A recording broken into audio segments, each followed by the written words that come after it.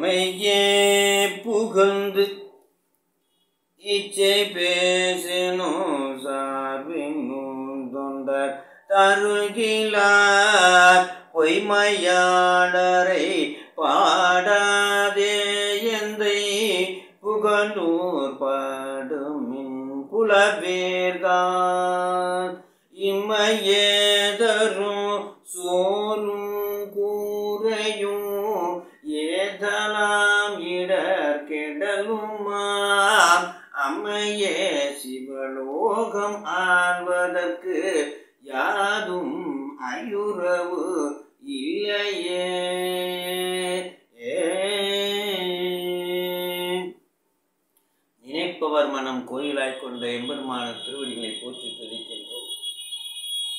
சைவ நன்னறிதனை உலகமெல்லாம் பரவ செய்து கொண்டிருக்கிற நம்முடைய குருமகா சன்னிதானம் அவருடைய பொன்னார் திருவள்ளுவரை போற்றி அவருக்கு உறுதுணையாக இருக்கின்ற இயக்குனர் பெருமகனார் பல்வேறு மையங்களுடைய அமைப்பாளர் பெருமக்கள் பேராசிரியர் பெருமக்கள் இந்த இணையத்தை இந்த இணையத்தின் மூலமாக இந்த விளக்க ஏடுகளை பதிவேற்ற செய்து கொண்டிருக்கின்ற நம்முடைய சண்முகம் ஐயா அவர்கள் இன்று எழுந்தருளி நமக்கு வாழ்த்துறை திருமுறைகள் பாடிய அடியார் பெருமக்கள்.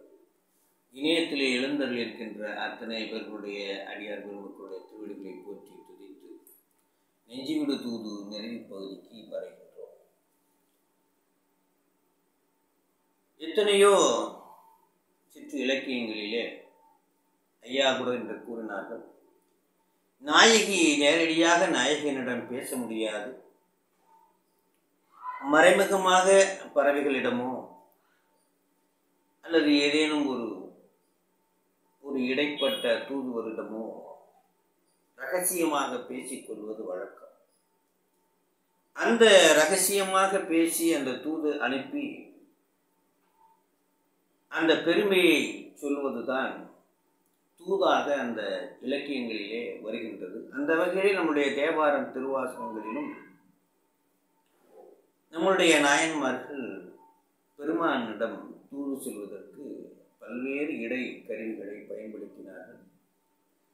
அந்த வகையிலே உமாபதியார் இந்த சாத்திர நூல்களிலே தன்னை ஒரு நாயகியாக பாவித்து பெருமானை நாயகனாக பாவித்து அந்த பெருமான் நம்முடைய குருநாதர் தான் என்பதை பாவித்து அந்த குருநாதருக்கு தன்னிடம் உள்ள நெஞ்சையே தூதாக அனுப்புகின்றார் அந்த வகையிலே நெஞ்சு என்றால் என்ன என்று நாம் கடந்த வகுப்பிலே சிந்தித்தோம். நெஞ்சு என்று ஒரு பகுதி எந்த இடத்தில் சுட்டிக்காட்ட முடியாது. ஆனால் மனம் புத்தி அகங்காரம் சித்தம் இந்த நான்கும் செயல்படுகின்ற ஒரு கூட்டு இடமே நெஞ்சாக நாம் கருதி கொள்ள கருதி கொள்ளலாம் இந்த நான்கும் உயிருக்கு ரொம்ப ரொம்ப ரொம்ப ரொம்ப முக்கியமான விஷயம். இறைவன் கொடுத்த கருவிகளிலே இந்த நான்கு கருவி ரொம்ப முக்கியம். அதனால தான் அந்த உயிரோடு ஒப்பிடுவது போல அந்த சூத்திரத்தில் சொல்வார். அந்த கரணம் அவற்றின் ஒன்று அன்று அவை சந்தித்தது ஆன்மா சகசமலத்து அந்த கரணத்தையே உயிரோடு ஒப்பிட்டு அது உயிர் அல்ல என்று கூறுவார். அந்த வகையிலே அந்த கரணத்துக்கு மிக முக்கியம் உயிர் மனம் இல்லை என்றால் ஒரு பொருளை பற்ற முடியாது விரும்ப முடியாது. இப்பொழுது காலப்போக்கிலே எதை எதையோ பற்றி கொண்டிருக்கிறோம். ஒரு நாள் நிச்சயமாக அந்த மனம் இறைவனை பற்ற வேண்டும். பற்றுக பற்று அற்றான் பற்றினை பற்றுக அப்பற்று. ஆக மனம் என்பது ரொம்ப முக்கியம். அந்த மனம் புத்தி அகங்காரம் சித்தம் நான்கும் செயல்படும் இடமாக இருக்கின்ற அந்த நெஞ்ச கூட்டினையே இறைவனுக்கு தூதாக விடுகின்றார். ஆக நாயகியா நாயகி தன்னுடைய நெஞ்சை தன்னுடைய நாயகனுக்கு விடுவது போல அமைத்திருக்கின்றார். அப்படி விடுவது போல சாத்திர கருத்துக்களை எல்லாம் நமக்கு தெரியப்படுத்தும். இப்பொழுது பயன் இயலுக்கு நாம் நிறைவில் வந்திருக்கிறோம். கடந்த வகுப்பிலே நாம் பார்த்தோம் அந்த நெஞ்சி போய்க் கொண்டிருக்கிறது குருநாதருடைய திருவடியை நோக்கி போய்க் கொண்டிருக்கிறது. அப்பொழுது தடையாக பிற சமயத்தவர்கள் சொல்கின்ற அந்த பொய் சொல் உன் காதில் விழும் ஆனால் கேட்டு விடாது. அந்த அமனர் பாலியில் போய் விழுந்து விடாது. உலகாயதர் என்று சொல்லக்கூடிய உலக போகத்தை முன்னிறுத்துகின்ற அவர்கள் சொல்கின்ற அந்த சொல்லிலே விழுந்து விடாது. இப்படி பல விழுந்து விடாதே மூடர்கள் பாதையிலே சென்று விடாதே.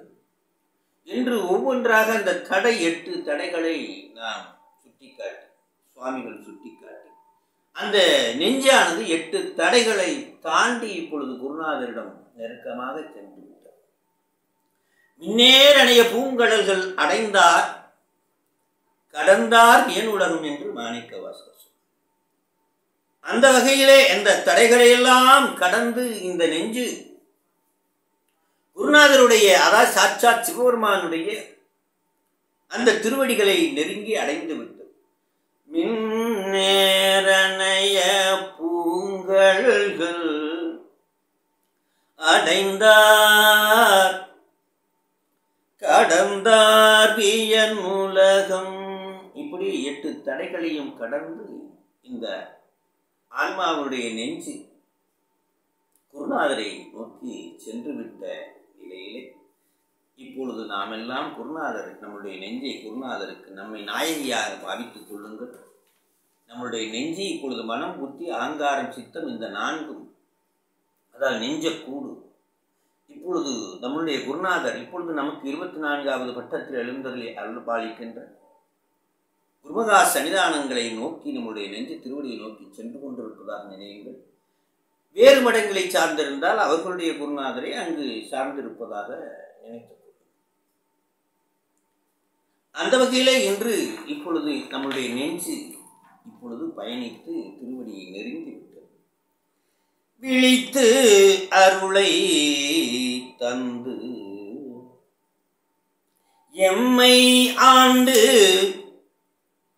அருளும் சம்பந்த மாமுனிவன். அந்தம் கடந்து அப்பாலாய் நின்றோ என்று சுவாமிகளுடைய சுரூப நிலை நிலையினை எடுத்து கூறுகின்றார். ஒவ்வொரு பாட்டையும் நாம் சிந்திக்கும் பொழுது விரிவாக சிந்திப்போம். இப்பொழுது அந்த பாடலில் என்ன ஒரு கூ- சுருக்கமாக சொல்லி நாம் நிறைவு பகுதிக்கு வருவோம்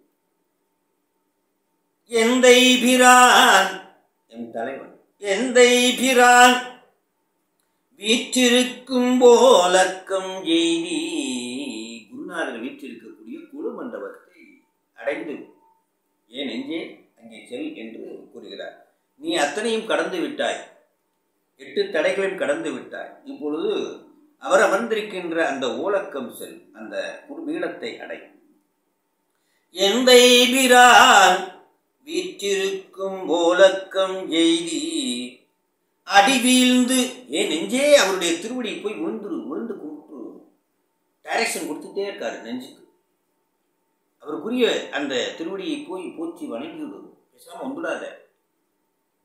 அடி வீழ்ந்து இறைஞ்சி போற்றி சயசய போற்றி என்ன? அப்படி போய் விழுந்து சயசய போற்றி போற்றி என்று சொல். மாணிக்க வாசகர் தான் சொல்லுவார் எவ்வளவு மெய் உணர்தல்ல செய்ய போற்றியேன் என்று அற்புதமா சொல்வார். மெய்தான் அரும்பி விது விதித்து உன் விரையார் கடற்கு கைதான் தலை வைத்து கண்ணீர் ததும்பி வெதும்பி உள்ளோம். பொய்தான் தவிர்த்து உன்னை போற்றி சயசய போற்றி என்னும் கைதான் நெகிழவிடேன் உடையாய். என்னை கண்டுகொள். இந்த இடத்துல ரெண்டு கை சொல்வார். முதலிலே சொல்கின்ற கை உச்சந்தலையில் வைத்து பெருமானுடைய திருவடியை போற்றி வணங்குகிறது இரண்டாவது சொல்கின்ற கை கைதான் நெகிழவிடேன் இந்த இடத்தில் இந்த கைக்கு பேரு ஒழுக்கம் என்று பெயர். சிவ ஒழுக்கம். சாமி நான் சிவ ஒழுக்கத்திலிருந்து தவறிவிட மாட்டேன். என்னை கண்டுகொள். உன்னுடைய ஒழுக்கம் நீ சொன்ன ஆகமங்களின்படி நான் நடந்து கொள்வேன். என்னை கண்டுகொள் சுவாமி அந்த வகையிலே என் நெஞ்சே பெருமானுடைய குருநாதனுடைய அந்த திருவடியை போய் அடைந்து விட்டாய். அவருடைய திருவடியை போய் விழுந்து வணங்கு. போற்று செயசெய போற்று என்று சொல் வெற்றி வெற்றி என்று சொல் திருவடிக்கு வெற்றி வெற்றி என்று சொல். ஆத்த கரி அன்று உரித்தாய். இந்த உலகம் உய்யும் பொருட்டு. அங்கே கார்காம தார்காமனத்து முனிவர்கள் எழுப்பி அனுப்பிய அந்த மத யானையை உயிர்கள் உய்யும் பொருட்டு காக்கும் பொருட்டு நீ அந்த தோலை உரித்து போர்த்தி கொண்டு அதை ஒடுக்கினாய் என்ற அற்புத அந்த நிகழ்வினை போற்றி சொல்லு. ஆர்த்த கரியன்று உரித்தாய். நின் பவனி ஆதரித்தார் எல்லாரும். வென்றி தேன் அம்புபட வீழ்வார்? வேள் தேன் அம்புபட வீழ்வாரோ? என்று பெருமானுடைய பெருமையை குறிப்பிடுகின்றார்.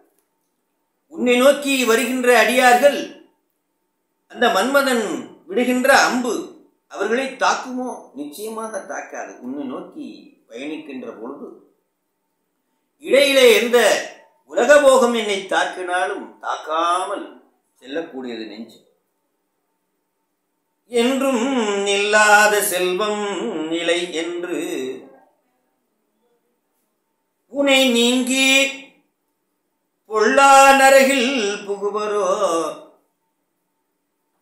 சாமி உன்னை விட்டு பயணத்தில் இருக்கும் பொழுது உன்னை நோக்கி பயணிக்கின்ற பொழுது நரகத்தில் செல்கின்ற அந்த பயன் எனக்கு நிச்சயமாக கிட்டார். புகுவரோ நரகில் புகுவரோ? அல்ல அல்ல என்பது போல். பல்லோரும் கத்தும் சமயக் கணக்கில் படுவரோ? கத்தும்னா சொல்றோம் பல சமயத்தவர் புற சமயத்தவர் சொல்கின்ற அந்த கருத்துக்கள் நம்மை ஈர்த்து விடாது. ஏனென்றால் நான் முன் நினைப்பில் இருக்கின்ற பொழுது பிற சமயத்துவர் சொல்கின்ற அந்த பொய்ச்சொல் எனக்கு காதி விடாது. கத்தும் சமயக்கணக்கில் பல்லோரும் கத்தும் சமயக் கணக்கில் படுவரோ? சித்தம் பழகால் திகைப்பரோ?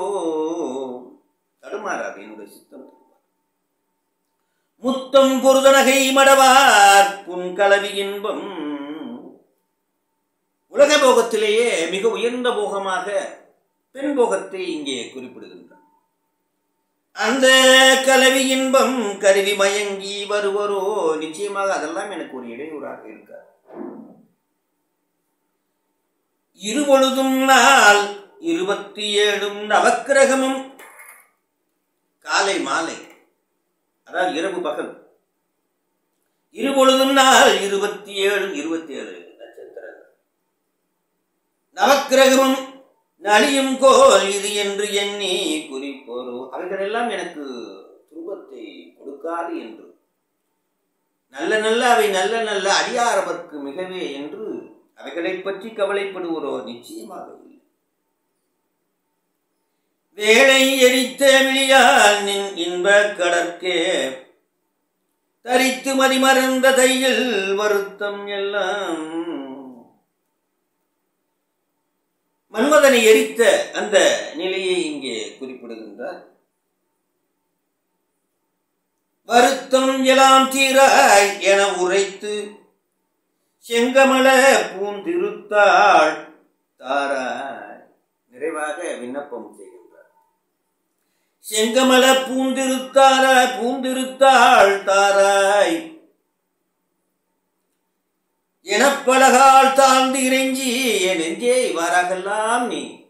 அந்த தாளை தாராய் என்று இறைஞ்சி வணங்கு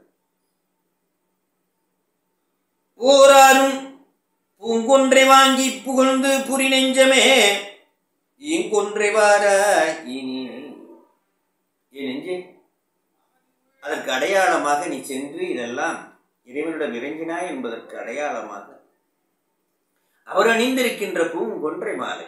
எத்தனையோ கருவிகள் அவர் அணிந்திருந்தாலும் குன்றை மாலையை கேட்டு வாங்கி வருவது என்பது ஏனென்றால் இறைவன் அணிந்திருக்கின்ற அந்த கொன்றை மாலையை இறைவன் வேறு ஒருவருக்கு கொடுத்தால் அந்த பதத்தை கொடுத்ததாக அர்த்தம். சண்டேச நாயனாருக்கு அவர்தான் கொன்றை மாலையை கொடுத்தார் சிவபதத்தை அழித்தார். தொண்டருக்கு தலைவனாக்கினார் அண்டர்பிரான் தொண்டற்கதிவனாக்கி அனைத்து நாம் உண்டகலமும் உடுப்பனமும் சூடுபனமும் உனக்காக சண்டீசனுமாம் பதம் தந்தோம் என்று அங்கவர் பொத்தட முடுக்கி துண்டமதி சேர் சடை கொன்றை மாலை வாங்கி சூட்டினார். அப்படி சிவபெருமான் சிவபெருமானுடைய கொன்றை மாலையை சூட்டிக் கொண்டால் அவருடைய பதத்தை நாம் அவருடைய அருளை நாம் பெற்றதாக அர்த்தம். அறியார்களே உங்களுக்கு ஒரு விண்ணம் ஒவ்வொரு முறையும் நீங்கள் பெருமானுக்கு அருகாமையில் உள்ள கொன்றை மாலை சடை கொன்றையை எடுத்து நீங்கள் சூட்டினார் சூட்டினீர்கள் என்றால் அந்த மாலையை எடுத்து வீணடித்து விடாதீர்கள். அந்த மாலையை எடுத்து நீங்கள் சூடிக்கொள்ளுங்கள் பெருமானுடைய அருள் பரிபூரணமாக உங்களுக்கு கிடைக்கும். நேரடியாக நாம் பெருமான் வந்து நமக்கு சூட்டவில்லை என்றாலும் சங்கல்ப மாத்திரையாக அவர் சுட்டுவதாக நினைத்து நாம் அந்த குன்றை மலையை சுட்டி கொண்டால் அவருடைய அருளை பரிபூர்ணமாக பெற்றவர்களாகிறோம். நிச்சயமாக நமக்கு அண்டர் பிரான் நமக்கு தொண்டர் தலைவனாக ஆக்குவார் என்பதிலே சந்தேகமில்லை. தொண்டரோடு கூட்டி வைப்பார். கூட்டு கண்டாய் தொண்டரோடு கூட்டு கண்டாய் நம்மளை தொண்டரோடு கூட்டி அந்த வகையிலே நிறைவாக அந்த கொன்றை மாலையை பெற்று வந்து எனக்கு கொடு என்று நான் சுட்டிக் கொள்ள வேண்டும் என்று அதை கேட்கின்றார். ஒரு நாயகி நாயகனுடைய மாலையை சூட்டிக்கொள்வது அவருடைய அருளை பரிபூர்ணமாக பெற்றதாக ஆகும். அந்த வகையிலே தான் திருமணத்திலே நம் எல்லாம் அந்த மாலையை மாற்றிக்கொள்வது என்பது அவருடைய அன்பை பரிபூர்ணமாக மாற்றிக்கொள்வதாக அர்த்தம். இதுகாலம் எப்படி இருந்தோமோ இப்பொழுது தன்னுடைய அன்பை பரிபூர்ணமாக மாற்றிக்கொள்ளும். அதற்கு அடையாளமாக சூட்டப்படுவதுதான் மாலை பூமா அந்த வகையிலே சிவபெருமான் சூட்டியிருக்கக்கூடிய அந்த குன்றை மாலையை நாம் சூட்டிக் கொள்வது அவருடைய அருளை பரிமாற்றம் செய்து கொள்கின்ற நிகழ்வை குறிப்பிடுகின்றார் சிவபெருமானே கொடுத்தார். யாருக்கு விசார சர்மர் தொண்டர் கலிவனாக்கினார் ஏழு வயது குழந்தை. சண்டேசன் என்று பட்டமும் கொடுத்தார். நாம் அவருக்கு அணிந்த மாலையை அந்த கொன்றை மாலையை எடுத்து நாம் அதனாலதான் அடியார்களுக்கெல்லாம் பெருமான் சூட்டப்பட்ட மாலையை வந்திருக்கக்கூடிய முக்கியமான அங்கே இருக்கின்றவர்களுக்கெல்லாம் அந்த பிரசாதமாக மாலையை கொடுப்பார். அதை நாம் சூட்டிக் கொள்ள வேண்டும். பெருமானுடைய திருவடியை எடுத்து சூட்டிக் கொள்வதாக நினைத்துக் கொள்ள அந்த வகையில் இந்த நிறைவு பகுதியிலே சுவாமிகள் குறிப்பிடுவது என்னவென்றால் ஞான ஆசிரியராக வந்த மறைஞான சம்பந்த பெருமானை சிவபெருமானை வணங்கி கொன்ற மாலையை வாங்கி வருமாறு தன் நெஞ்சை பணிக்கிறார் தன் நெஞ்சை பணிக்கிறார். ஆக இப்பகுதியில் ஆசிரியர் இறைவனை கண்டவர் பயன் தொகுத்தளிக்கின்றார். அந்த நெஞ்சு கண்டுவிட்டது. இறைவனை கண்டவனுடைய பயன் என்ன என்பதை இந்த நிறைவு பகுதியிலே பயன் இயலாக நமக்கு நின்று கொடுப்பதிலே சூத்திரத்திலையும் நம்மளுடைய சிவஞான போதத்திலையும் பயனியல் என்று சொல்வார்கள் அதிலே.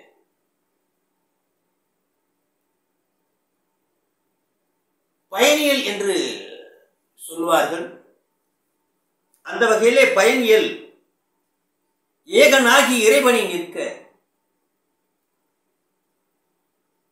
என்ன பயன் என்பதை அங்கே ஏகனாகி இறைவனை நிற்கின்ற அந்த பயனை. சிம்மலர் நோன் தாள் சேருளட்ட அம்பலம் கழுகி அன்பரோடு மறி. மா அறநேயம் மணிந்தவர் வேடமும் ஆலயம் தானும் அரணனத்தோடுமே என்று அற்புதமாக அங்கே குறிப்பிடுகின்றார்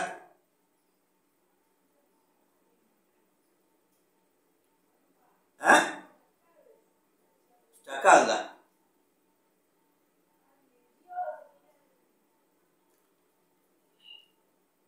ஆகவே இங்கே ஞானாசிரியராக வந்த சிவபெருமானை வணங்கி குன்றை மாலையை வாங்கி வருமாறு தன் நெஞ்சை பணிக்கிறார் ஆசிரியர். இப்பகுதியில் இறைவனை கண்டவர் பயன் தொகுத்து அளிக்கின்றார் இப்பொழுது நம்முடைய முதல் பாடலில் நாம் உள்ளே செல்ல இருக்கின்றோம். விழித்து அருளை தந்து எம்மை ஆண்டு அருளும் சம்பந்தமா முனிவன். அந்தம் கடந்து அப்பாலாய் நின்றோ. சிவருமானுக்கு இரண்டு நிலை நம்ம எத்தனைக்கும்? முப்பொருளுக்கும் ரெண்டு நிலை தான் சுரும நிலை தடத்த நிலை என்று சொல்வார்கள். தடத்தம் சுரூபம் என்று சொல்வார் சிவபெருமானுடைய தட சுரூப நிலை என்னவென்றால் எண்ணுதற்கு எட்டாத நிலை. இன்னதன்மை என்ற அறிவொண்ணாத நிலை. அது பரமசிவம் இருக்கிற இடம். பரசிவம் அது பரமுக்தி அதைத்தான் சிவனடி என்று நம்முடைய சாமிகள் குறிப்பிடுகின்றார். யார் மாணிக்க வாசக பெருமான் சிவனடி என்று குறிப்பிடுகின்றார். ஆகவே மாணிக்கவாசக பெருமாள் சிவனுடைய சிவனடி திருவடி என்று சொல்கின்றார். அந்த திருவடி தான் தடத்தம் நிலை. தடத்தம் என்று சொல்லக்கூடிய திருவடி. அந்த திருவடி கீழ் சொல்லிய பாட்டின் பொருள் உணர்ந்து சொல்லுவர் செல்வர் சிவபுரத்தின் உள்ளார் சிவனடி கீழ் வல்லோரும் ஏற்ற பணி ஆக அந்த சுருமநிலையில் இருந்து பெரும் பெருமான் நிலந்தன் மேல் வந்தருளி நீல் கடல்கள் காட்டி அதான் தடத்த நிலை. அம்பாலாக வந்து அனைத்து பொருள்களையும் கலக்கின்றார் அம்பாலாக வந்து அனைத்து பொருள்களையும் கலக்கின்றார்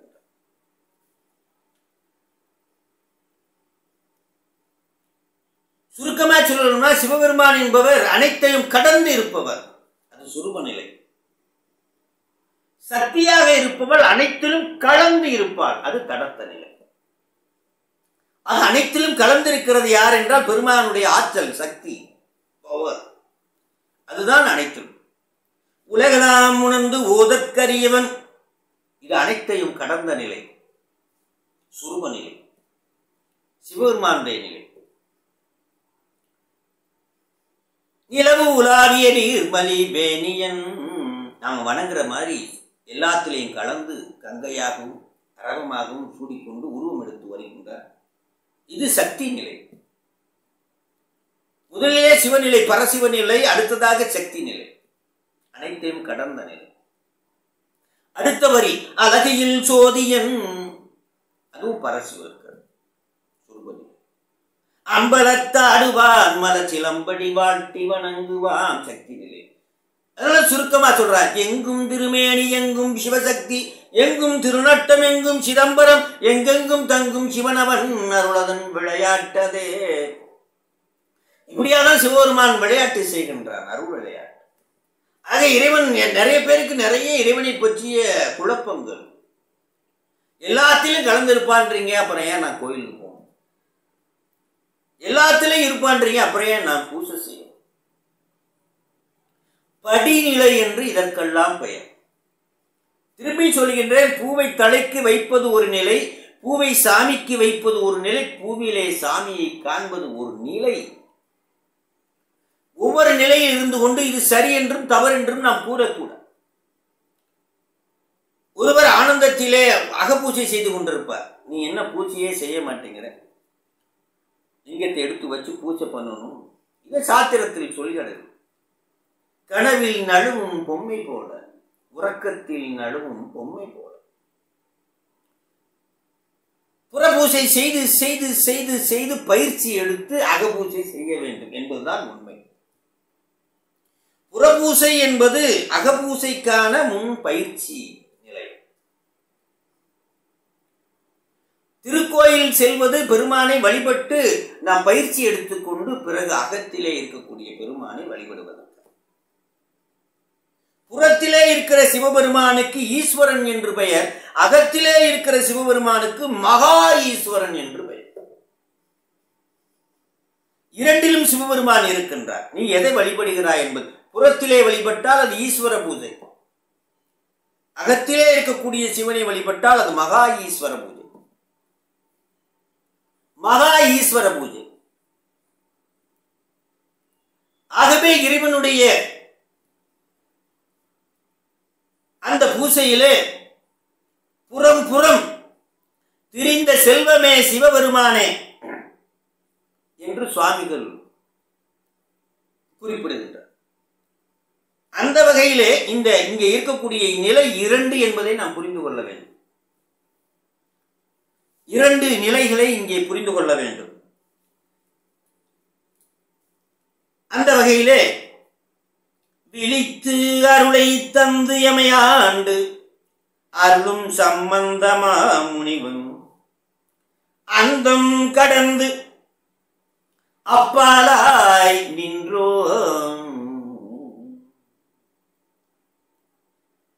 அந்தம் கடந்து அப்பாலாய் நின்றோம் ஆதியும் அந்தமும் இல்லா அரும்பெரும் சோதி என்று மாணிக்கவாசன் ஆதியும் அந்தமும் இல்லா அரும்பெரும் சோதி.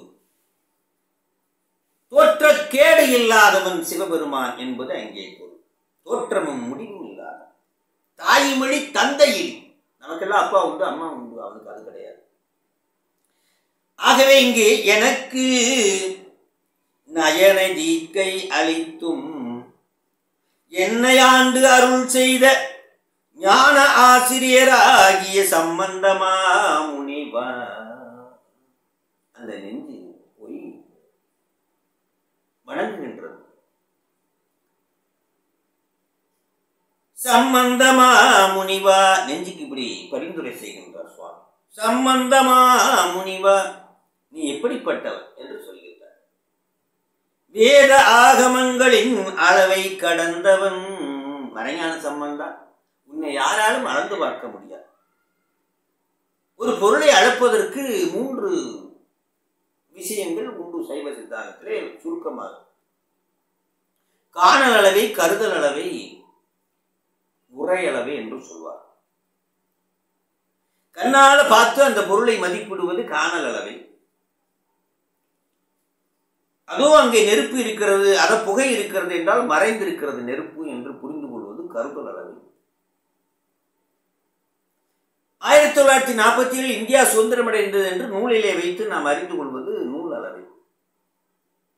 இவைகளைத்தான் குறிப்பாக மூன்று அளவைகள் என்று சுருக்கமாக சொல்வோம். அதற்குள்ள நிறைய பிராஞ்ச் இருக்கு. இருந்தால் மூன்று அளவு. இறைவன் இப்படிப்பட்ட அளவுகளில் அளக்க முடியாதவன் என்று சொல்கின்றார் எண்ணுதற்கு எட்டாதவன் இன்னதன்மை என்று அறிவொன்னாதவன் அப்பேற்பட்ட அதைத்தான் சுரூப நிலை என்று நமக்கு சொல்லுகின்ற ஆனால் அப்படி இருந்தால் அந்த பெருமான் நமக்கு எந்த பிரயோஜனமும் இல்லை என்பதற்காக அவன் நிலந்தன் மேல் வந்தருள் நீ கடல்கள் காட்டி. அப்படி இறங்கி வர இறங்கி வந்துதான் நிலவுலாவிய நீர்மொழி வேணியனாக நாம் வணங்கும் பொருட்டு உருவம் எடுத்து வருகின்றார் உருவம் உண்மையில் இல்லாதவன் நாம் வணங்கும் பொருட்டு உருவம் தாங்கி வருகின்றான். ஆகவே உருவத்தை வணங்க வேண்டுமா அருவத்தை வணங்க வேண்டுமா அருவுருவத்தை வணங்க வேண்டும் குழப்பம் நமக்கு வேண்டியதில்லை. நீரிலும் இறைவன் இருக்கின்றார். நீர் ஆவியிலும் இறைவன் இருக்கின்றார். அந்த ஐஸ் கட்டியிலும் இறைவன் இருக்கின்றார். மூன்று மூன்று நிலைகளில் இருக்கிறது அவ்வளவுதான். மூன்றும் ஒரு பொருள் தான் உருவமாக இருந்தாலும் அவன் இருக்கிறான். அதனாலதான் ஒரு கோவிலுக்குள்ள போனவனே மூன்று நிலைகளிலே வழிபாடு செய்கின்றான் சுற்றியுள்ள உருவ வழிபாடுகளை எல்லாம் வணங்கிவிட்டு உள்ளே அருவுருவமாய் இருக்கின்ற மூலவரை வணங்கிவிட்டு நிறைவாக அருவமாய் இருக்கின்ற கோபுரத்திலே விழுந்து வெட்ட வழியை பார்த்து இதில் இந்த வழிபாடு சிறந்தது அந்த வழிபாடு சிறந்தது என்று நாம் போட்டி போட்டுக் கொள்ளக்கூடாது.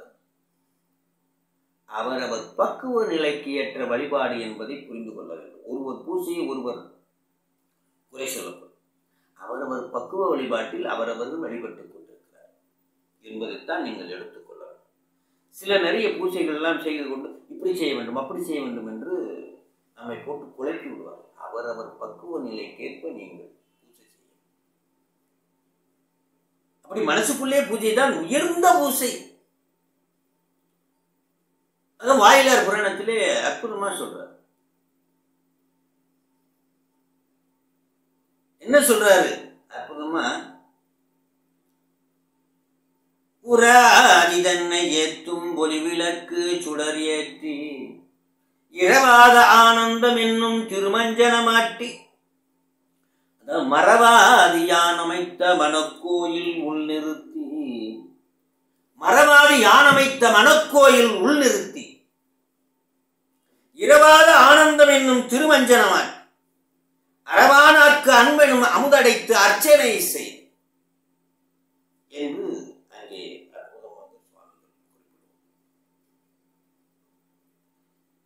அப்படி இங்கே கடந்த நிலையை குறிப்பிடுகின்றார். அனைத்தையும் கடந்த நிலை. வேத ஆகமங்களின் அளவை கடந்து அத பிரமாணங்கள். சிவபெருமானை அளக்கின்ற பிரமாணங்களை கடந்து. யாரும் அளக்க முடியாது. ஒரு பொருளை அளப்பதற்காக இந்த பிரமாணங்கள் எல்லாம் இருக்கின்றன. இதையெல்லாம் கடந்தவன் சிவபெருமான். கீதம் இனிய குயிலே கேட்டியே எங்கள் பெருமான் பாதம் இரண்டும் வினவில் பாதாளம் ஏழுனுக்கு அப்பா நமக்கு தெரிஞ்சது பாதாளம் ஏழு வரைக்கும் தான். அவருடைய திருப்பாதம் பாதாளம் ஏழுனுக்கு அப்பா எவ்வளவுன்னு யாருக்கும் தெரியாது. போனவெல்லாம் கண்டுபிடிக்க முடியும். சோதி மணிமுடி சொல்லின் சொல் இறந்து நின்றது உண்மை சொல்லலாம் கிடையாது. அந்த காலத்துல சொல்லுவோம் ஏழு கடல் தாண்டி ஏழு மலை தாண்டி அவ்வளவுதான் நம்மளால சொல்ல முடியும். அதுக்கு மேல நமக்கு தெரியாது. அதற்கெல்லாம் அப்பாற்பட்டவன் சிவபெருமான். அளப்பரிதாய் அறிவுனுள் அறிவாய். அளப்பரிதாய் அறிவுனுள் அறிவாய் அப்பாளுக்கு அப்பாலாய் நின்றான் சிவபெருமான். அப்பாளுக்கு அப்பாலாய் நின்றான் சிவ என்று அங்கே அற்புதமாக சொல்லியிருந்தார். நம்முடைய அவையார் பிராட்டியும் அணுவிற்கு அணுவாய் அப்பாலுக்கு அப்பாலாய் என்று சொல்வார். இதற்கு பேர் சுரூப நிலை. பெருமானுடைய நிலையை யாராலும் அறிய முடியாத நிலையைத்தான் சுரூப நிலை என்று இங்கே சொல்லுகிறோம் அப்பேற்பட்ட பெருமானுடைய பெருமையை இங்கே சொல்லி இங்கே மறைஞான சம்பந்தராக வந்திருப்பவர் பெருமானே சாட்சாத் பெருமானே என் குருமணியாக வந்திருக்கிறார். ஒரு விஷயத்தை நாம் தெரிந்து கொள்ள வேண்டும். இறைவனைத் தவிர யாவரும் உயிர்களே. பிரம்மாவாக இருக்கட்டும் விஷ்ணுவாக இருக்கட்டும் உருத்திரனாக இருக்கட்டும் இறைவன் என்பவன் ஒருவன் தான் இருக்க முடியும். ஆனால் அவர்களையெல்லாம் நாம் கடவுளாக சொல்கிறோமே ஏன் என்று ஒரு கேள்வி வரும். நவக்கிரகங்களை கடவுள் என்று சொல்கிறோம் விஷ்ணுவை கடவுள் என்று சொல்கிறோம் உருத்திரனை கடவுள் என்று சொல்கிறோம் பிரம்மாவை கடவுள் என்று சொல்கிறோம் இயக்கிமார்கள் அறுபத்தி நால்வரையும் கடவுள் என்று சொல்கிறோம். இயக்கிமார்கள் அறுபத்தி நால்வரை என் குணம் செய்த ஈசனே. அவர்கள் ஈசனோடு அவர்கள் குணத்தை பெற்றவர்களாக இருந்தாலும் கூட அவர்கள் ஈசன் அல்ல. சிவனோடு ஒக்கும் தெய்வம் தேடினும் இல்லை அவனோடு ஒப்பார் இங்கு யாவரும் இல்லை. அப்படி இருக்கும் பொழுது அவர்களையெல்லாம் நாம் கடவுளாக ஏன் சொல்கிறோம்? என்றால் அந்த உயிர்களை எல்லாம் விஞ்ஞானகர ஆன்மாக்கள் என்று சொல்வார் முத்தி நிலை பெற்ற ஆன்மாக்கள். பக்குவம் பெற்று முத்தி நிலை பெற்ற ஆன்மாக்கள். அப்பொழுது அந்த ஆன்மாக்கள் சிவமாம் தன்மை பெற்றுவிட்டன. சிவமாக்கி எனை ஆண்ட அத்தன் எனக் கருளியவார் ஆர் பெறுவார் அச்சோடு. மும்மலமும் நீங்கி சிவமாம் தன்மை பெற்ற நிலையிலே அந்த ஆன்மாக்களுக்குள்ளே சிவபெருமான் கலந்து அத்தனையும் உணர்த்துகின்றார் நீ இறைச்சை படை தனு கர்ண ஊனபோங்களை படை. நீ காத்தருள் என்று பணிக்கின்றார் நீ அதை காத்து ஒரு காலை இல்லை வரை இந்த உடம்பு அவனுக்கு காத்துக்கோ இந்த வயசாயிடுச்சு நூறு வயசு ஆயிடுச்சு அவனுக்கு விரிக்கப்பட்ட காலம் முடிஞ்சது ஒடுக்குன்னு ஒருத்தர்கிட்ட சொல்லி இப்படியெல்லாம் அந்த உயிர்களுக்குள்ளே இருந்து இறைவன் அங்கே ஆட்சி செய்வதனாலே அவர்களுக்கு அந்த விஞ்ஞானகலர் ஆன்மாக்களுக்கு இறைவன் உள்ளிருந்து உணர்த்துகின்றான் அதனாலே அவர்களை எல்லாம் தெய்வம் என்று கூறுகிறோம். கடவுள் என்று சொல்லக்கூடாது. கடவுள் என்றால் அனைத்தையும் கடந்தும் அனைத்திற்கும் உள்ளாகும். அனைத்திற்கு அப்பாலும் அனைத்திற்கு உள்ளாகும் என்றதற்கு பொருள். அதைத்தான் அணுவிற்கு அணுவாய் அப்பாளுக்கு அப்பால். கடவுள் என்பவன் ஒருவனே அவன் பரம்பொருளே. ஆகவே அனைத்து கடவுளையும் நாம் கடவுள் என்று சொல்லாமல் தெய்வம் என்று சொல்ல வேண்டும். சிவபெருமானை தவிர ஏனைய அத்துணை இறைத்தன்மையை பெற்ற ஆன்மாக்களும் தெய்வங்கள் என்று சொல்கிறோம். பிரம்மா என்பது ஒரு தெய்வம் விஷ்ணு என்பது ஒரு தெய்வம் உருத்திரன் என்பது ஒரு தெய்வம். ஆகவே இந்த குழப்பம் மற்றுமோர் தெய்வம் உண்டன நினைத்தெம்பெம்மார்க்கு கற்றிலாதவரை கண்டால் அம்மா நாம் அஞ்சுமாறு. பல தெய்வங்கள் உண்டு என்று குழப்பத்தில் இருக்காதே. இவர்களெல்லாம் தன் பணிகளை செய்வதற்கு இறைவன் கட்டளையிட்டு அவனை அதிர்ஷ்டித்து நின்று செய்கின்றான் என்பதை நீங்கள் புரிந்து கொள்ள வேண்டும். ஆகவே இந்த குழப்பத்திலிருந்து முதலில் மீள வேண்டும். அத்தனையும் நீங்கள் இறைவனை தவிர அத்தனையும் தெய்வங்கள். அடியார் பெருமக்கள் நம்மை போன்ற உயிர்கள் உயர்ந்த முக்கிய நிலையில் இருக்கக்கூடிய சிவமாம் தன்மை பெற்ற உயிர்கள். அவர்களை கொண்டு இறைவன் ஆட்சி செய்கின்றார் எப்படி? நம்முடைய நாவுக்கரசு கருத்து நூறு கோடி பிரம்மர்கள் நொந்தினர். ஆறு கோடி நாராயணன் அங்கனே. ஏறு கங்கை மணல் இந்திரர். இரு நான் வெளியில வந்துட்டேன் சொல்லக்கூடாது. ஏறு ஏறு கங்கை மணல் எண்ணில் அம்மா கேக்குதாம்மா ஈறு இல்லாதவன் ஈசன் ஒருவனே ஈறு இல்லாதவன் ஈசன் ஒருவனே. இவ்வாறாக இறைவன் அந்த சுரூப நிலையை சொல்லி ஏனைய ஆன்மாக்கள் எல்லாம் தெய்வங்களாக இருக்கின்றன. இறைவன் அவர்களை அதிர்ப்பித்து நிற்கிறார். அதை போல விஞ்ஞானகலருக்கு உள்ளிருந்து உணர்த்தியவன் பிரளாயகலர் என்று சொல்கின்ற ஆன்மாக்களுக்கு எப்படி ஞானசம்பந்தருக்கு அம்மையப்பராக காட்சி கொடுத்தாரோ அப்பர் சுவாமிக்கு எப்படி அங்கே திருவடி திருவடியாக காட்சி கொடுத்தாரோ இப்படி ஒவ்வொன்றாக காட்சி கொடுத்த எப்படி பதஞ்சலி முனிவருக்கும் யாத்திரபாதருக்கும் நடராஜராக காட்சி கொடுத்தாரோ அந்த காட்சி கொடுத்து அவர்களுக்கெல்லாம் நேரடியாக அருள் காட்சி வழங்குகின்றார். பிரளாயகலர் ஆன்மா அந்த உருவத்தை தான் நாமெல்லாம் வணங்கி கொண்டிருக்கிறோம்.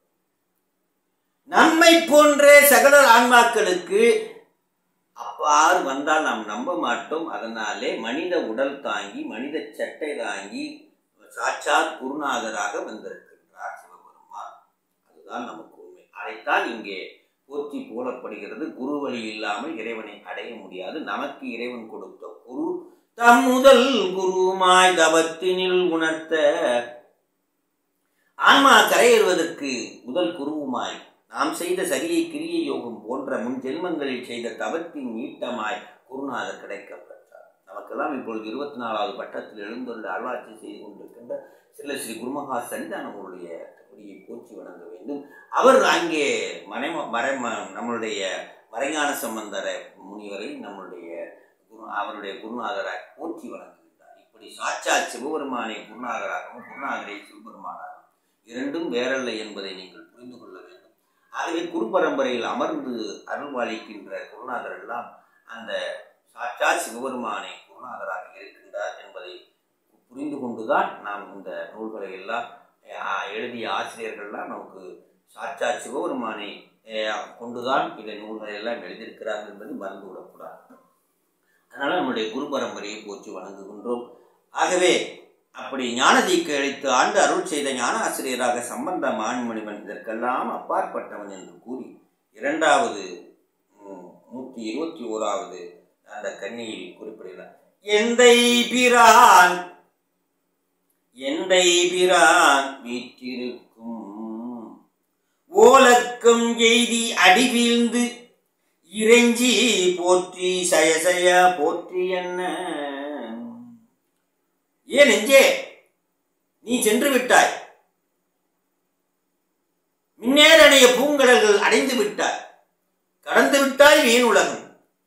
அங்கே இனி குருநாதர் அமைந்திருக்கின்ற அந்த ஓலக்கம் என்று சொல்லக்கூடிய குறிப்பீடமாகிய அந்த ஒடுக்கத்தை நீ அடைந்து அடி வீழ்ந்து அடி வீழ்ந்து இறைஞ்சி இறைஞ்சி குருநாதரை பார்த்து விண்ணப்பம். இறைஞ்சி இறைஞ்சி.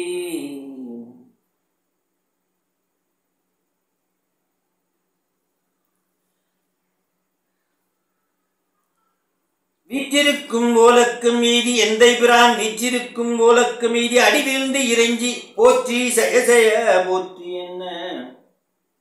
அவர் வீற்றிருக்கும் கொழுமண்டபத்தை சென்றடைந்து அந்த ஒடுக்கத்தை சென்றடைந்து திருவடிகளில் வீழ்ந்து வணங்கி செய செய போற்றி வெற்றி வெற்றி திருவடிக்கு வெற்றி வெற்றி என்று சொல்லி ஏன் நெஞ்சமே போற்றுவாயாக.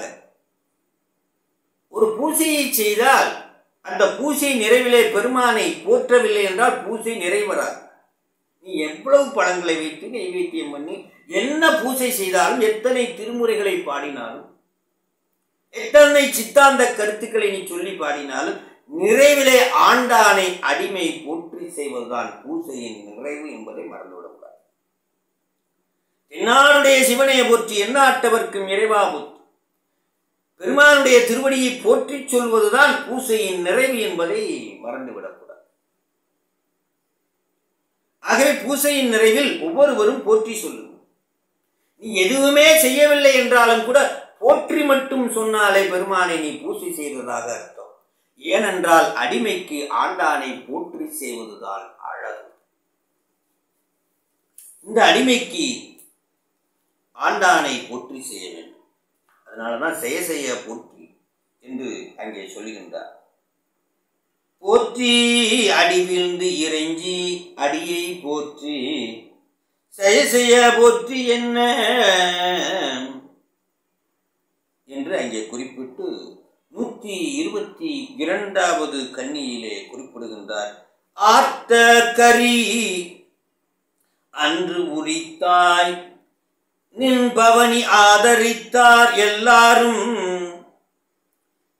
வென்றிதேன் அம்புபட வீழ்வாரோ.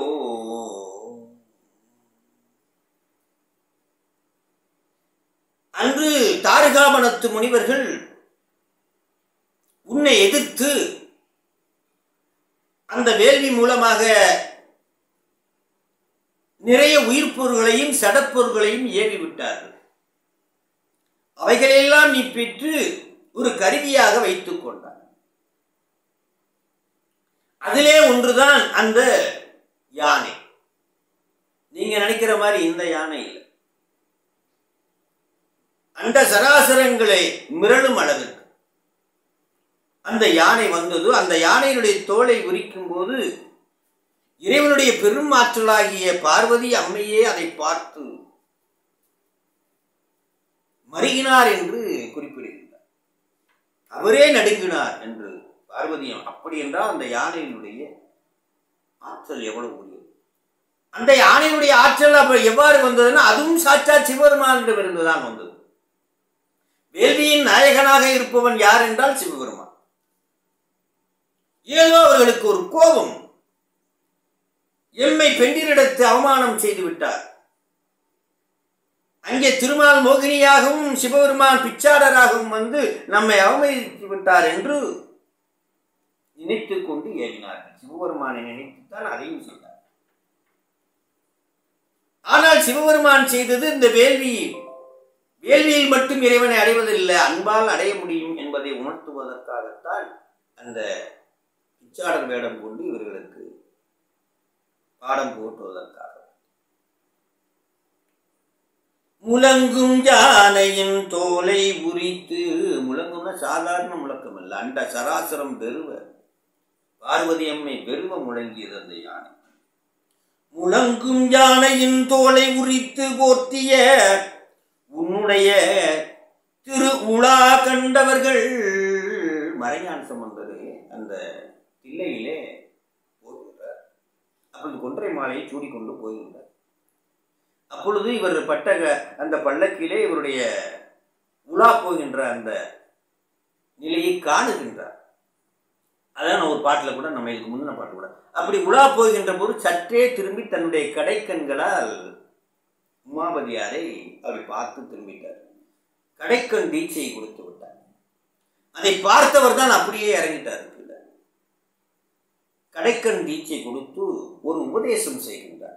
திருவார்த்தை சொல்கின்றார். பட்டகட்டையில் போகுதுவார் பகற்குருடு பட்டகட்டையில் போகுதுவார் பகற்குருடு என்று திருவார்த்தையாக ஒரு உபதேசம். செய்கின்றோம் அதை இங்கே நினைவுபடுத்துகின்றார்.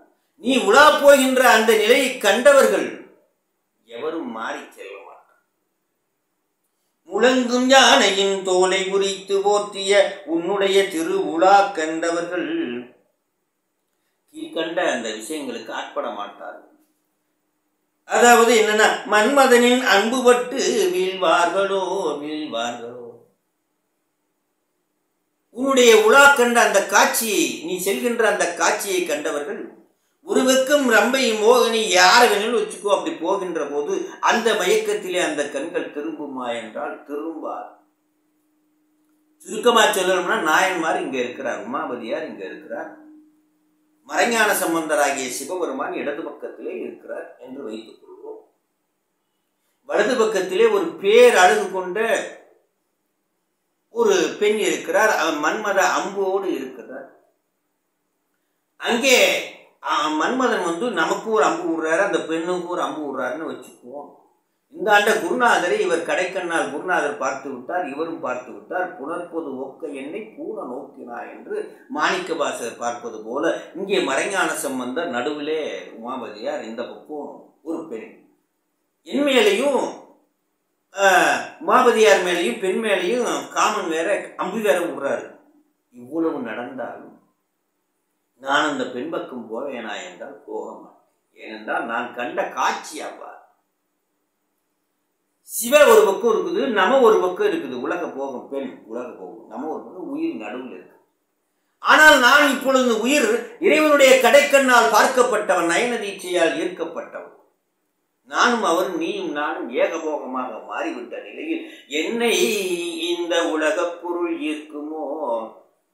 உலகப் பொருள் மண்ணாசையோ பெண்ணாசையோ பொன்னாசையோ ஈர்க்குமோ என்றால் ஈர்க்காது என்பதான் நிலையற்ற உலகப் பொருளை செல்வம் என்று கருதி உன்னை விட்டு. அடுத்த முழங்கும் யானையின் தோலை உரித்து போற்றிய உன்னுடைய திருவடி திருவுலா கண்டவர்கள் மன்மதனின் அன்புபட்டு வீழ்வாரோ வீழமாட்டார் வீழமாட்டார். நூத்தி இருபத்தி மூன்றாவது உணவல் என்ன சொல்கிறது? என்றும் நில்லாத செல்வம் என்றும் நில்லாத செல்வம் நிலை என்று நிலை என்று உன்னை நீக்கி பொல்லா நரகில் புகுவரோ புகுவரோ. அப்படியே சிவய நாம. இந்த பக்கம் இருக்கிறது என்றும் நிலைவேறுடைய ஒரு செல்வம். இந்த பக்கம் நிலைபேறு இல்லாத பொய் செல்வம். தங்கம் இருக்கும் ஒரு நாள் மண்ணுக்கே போயிடும். மண்ணுல இருந்து வந்துச்சு மண்ணுக்கே போயிடும். உடம்பு இருக்கும் அப்படியே உடம்பு மண்ணுக்கே போயிடும். மனைவி மக்கள் எத்தனை பேருடைய உடம்பு எதுவா இருந்தாலும் மண்ணுல இருந்து வந்துச்சு மண்ணுக்கே போயிடும். நீ எதெல்லாம் ஆசைப்படுகிறாயோ அதெல்லாம் பூல அந்த பஞ்சபூதங்களிலிருந்து தோன்றியது அத்தனையும் பஞ்சபூதத்துக்கே போயிடும். நிலையாக இருக்கக்கூடிய சிவ என்று சொல்லக்கூடிய அந்த பெருமான் மட்டுமே சிவ. இந்த பக்கம் இருக்கிற நம என்பது நமக்கு பக்குவத்திற்காக இறைவன் கொடுத்த ஒரு தற்காலிக ஒரு டார்க் லைட் அவ்வளோதான் இருட்டு வெளிச்சம் வந்துச்சுன்னா தேவை. அப்படி அந்த உலக போகம் இந்த பக்கம் இருக்குது. அதை இன்னொரு முதல்ல பெண்ணை சொன்னாரு இப்போ நரகத்தை சொல்றார். அந்த நிலையற்ற உலகப் பொருளை செல்வம் என்று கருதி உன்னை விட்டு நீங்கி கொடுநரகத்து செல்வார்களோ? செல்ல மாட்டார் செல்ல மாட்டார். இந்த பக்கம் நமவை பத்தி பார்த்துக்கிட்டே போனோம்னு வச்சுக்கோங்களேன் நரகத்துக்கு போயிடுவோமா? உலக போக நம்மளை இழுத்துருமா? நரகத்துக்கு போயிடுவோம்? ஆனால் சி- குருநாதரை பார்த்து நான் மீண்டும் நரகத்துக்கு போவானால் சத்தியமா இனிமே கிடையாது. என்று நான் குரு தரிசனம் பெற்றேனோ குருவினுடைய அஹ், அருளை நயன தீட்சையை பெற்றேனோ குருவுடைய பார்வையை பெற்றேனோ எனக்கு இனி நரகம் இல்லை என்பதை முடிவு செய்து கொடுமா நரகத்து அழுந்தாதே காத்து ஆட்கொள்ளும் குருமணியே நடுவாய் நில்லாது என்று அற்புதமாக மாணிக்கவாசர் ஆனந்த மாளிகை சொல்கிறார் என்னை கொடுமா நரகத்து அழுந்தாலே காத்து ஆட்கொள்ளும் குருமணியை. ஆக குருநாதர் கிடைத்து விட்டாலே நமக்கு இனிமேல் நரகம் இல்லை. நீங்க நினைச்சுக்கோங்க நரகம்னா ஏதோ தற்காலிகமா போயிட்டு வர்றதுன்னு நினைச்சுக்கிறாருங்கிறோம் கோடான கோடி ஆண்டுகள் அந்த நரகத்தில் இருந்துதான் நாம் மீண்டு வந்திருக்கிறோம். நிச்சயமாக நாம் கோடான கோடி ஆண்டுகள் எல்லை இல்லாத யுகங்கள் அந்த நரகத்தை இருந்துதான் நம்ம எப்படி இந்த பூனையில் பிறந்து வளர்ந்து வாழ்கிறோமோ அதுபோல நரகத்திலும் தாண்டிதான் நாம் வந்திருக்கிறோம். இனிமே நரகத்துக்கு போவோம் என்றால் சிவாய நம்ம மந்திரத்தை சொல்லிவிட்டோம். சிவாய நம என்று நீர் அணிந்து விட்டோம். இனிமேல் நமக்கு நரகம் இல்லை. பாக்கி ஒன்னே ஒன்றுதான் மேலே அதை போல தேவலோகத்தில் சென்று அந்த பேரின்பத்தையும் அந்த சொர்க்கத்தையும் நாம் இன்பத்தையும் அனுபவித்திருக்கிறோம். இப்போ ரெண்டுமே பொய் தான் பேரின்பத்தில் மூழ்க வேண்டும். என்பதற்காகத்தான் இவ்வளவும் நாம் செய்யணும் அதற்கு குருநாதருடைய அந்த பார்வையிலே அந்த பக்கமே தான் நாம் இருக்க வேண்டும். நம என்ற பக்கம் நாம் செல்லவே கூடாது. நிலையற்ற உலகப் பொருளை செல்வம் என்று கருதி உன்னை விட்டு நீங்கி கொடுநரகத்து செல்வேனோ? செல்ல மாட்டேன் செல்ல மாட்டேன். நூத்தி இருபத்தி நான்காவது பணுவல் என்ன சொல்லு பல்லோரும் கத்தும் சொல்லுகின்ற பல் சமயத்தார் சொல்கின்ற. பல்லோரும் கத்தும் சமயக் கணக்கில் படுவரோ. நிறைய பேர் ஐயா இது பொய் இதுதான் மெய்யின்னு நிறைய பேர் சொல்லுவாங்க. அப்படியே அதுக்கு ஆதாரம்லாம் சொல்லுவாங்க. அப்படியே பார்த்தா அப்படியே மெய்யே பார்த்த மாதிரி அப்படியே உண்மையை பொய் என்றும் பொய் உண்மை என்றும் சொல்லுவாங்க. அதனால தான் பொய்யர் சொல் கேளாதே என்று சம்பந்தர் உரைத்து சொல்கிறார். குண்டர் குணமில் பேசும் பேச்சு மெய்யென்று என்று சொல்றார் என்று இணைத்து விடாதே. அவ்வளவு பொய். வார்த்தை ஜாலங்கள் உன்னை மயக்கி விடும் முனிநாக்கு இங்கிலீஷ்ல எத்தனை பேர் பணத்தை ஏமாந்துருப்பான்? அது மாதிரி.